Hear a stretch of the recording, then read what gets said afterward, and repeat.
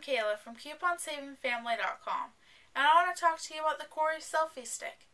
It's a 4-in-1 selfie stick that comes with the selfie stick, and it's also a power bank, a flashlight, and a Bluetooth remote. You turn the flashlight on at the bottom just by holding the button, and it's really bright, and that's really nice. And then you just turn it off by holding the button also.